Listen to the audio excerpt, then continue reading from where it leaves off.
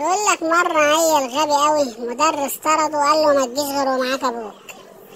أبوه خده وراح المدرس فبيقول له ماله؟ قال له ابنك غبي قوي ومش هينفع في الدراسة. قال له ليه؟ قال له اتفرج يا عم. فراح جاب له بيضة نعامة وقال له دي بيضة إيه يا حبيبي؟ قال له دي بيضة حمار. مدرس سكت وبص لأبوه أبوه راح جه ضاحك وقال له أقسم بالله ما غششته. يقول لك مرة واحد بخيل قوي اتجوز من مدرسة. وهم اتفقوا مع بعض إن يشيلوا مصاريف البيت بالنص. هي تدفع إيجار الشقة وهو يدفع مصاريف البيت. بعد خمسة وعشرين سنة جواز صاحبنا مات المهم المعلمة اكتشفت إن الشقة باسمه وهو بيصرف عليها من الإيجار. بيقول لك مرة واحد غبي قوي راح خطف واحدة أغبى منه فهم ماشيين بالعربية عمالة تصوت وتصرخ.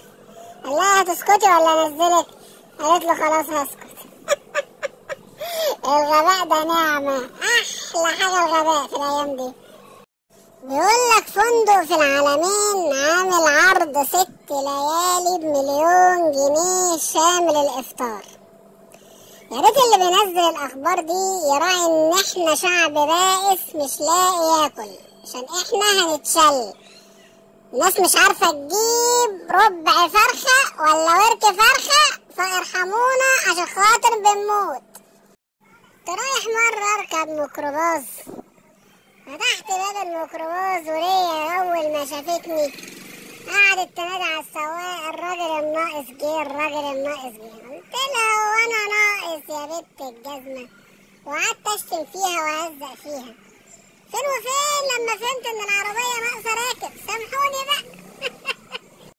واحد راح يعزف واحد جاره. فبيسأل أخوه هو مات إزاي؟ قال له كان بيحلم بالغد الأفضل. وقع عليه سقف الواقع المتهالك. بأمانة الله يرحمك يا أبو علاء. إحنا آسفين يا ريس. فعلا؟ ما تعرفش قيمة أمك غير لما تعاشر مرات أبوك.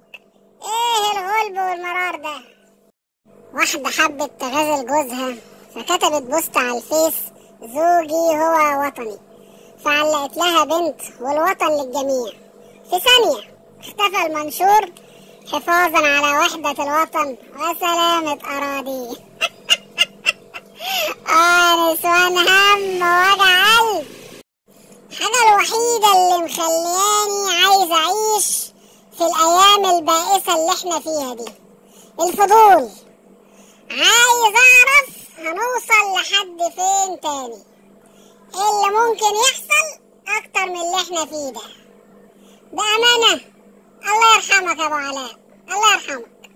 نصيحة لكل بنت اوعي تصدقي راجل يقولك أنا ما بهتمش بالشكل والجسم أنا أهم حاجة عندي الروح. الروح ما بيهتمش بيها غير عزرائيل. فهو حد يشتغلك ويضحك عليكي اهتم بنفسك. أنا خلاص يا ناس هتجنن. وصلت لمرحلة مش لاقي حاجة أحطها في التلاجة غير أعصابي. إيه الغلب ده؟ اعمل جمعية أنا عشان أجيب كيلو لحمة؟ اقعد أسبوع عشان أجيب وركين فراخ. ده حتى المية. المية غليت. موظف بائس. رايح للريس بتاعه في الشغل. اشتكيله المرتب ضعيف وعايز زيادة والمصاريف عالية عليه. فقال له يا ابني أهم حاجة في الدنيا الصحة. مرتب دي آخر حاجة تفكر فيها أهم حاجة الصحة. قال له تصدق كلامك مظبوط يا ريس. أنا بقى لما يجيلي ضيوف أبقى أفرجهم على عضلاتي مشكلة الجيل الحالي إنه عايز يعيش زي الأجانب ويموت زي الصحابة. فما تجننوناش معاكم. يا هتعيش زي الأجانب يا هتعيش زي الصحابة. لكن شغل الجنان اللي بنشوفه ده ما ينفعش. يا كده يا كده.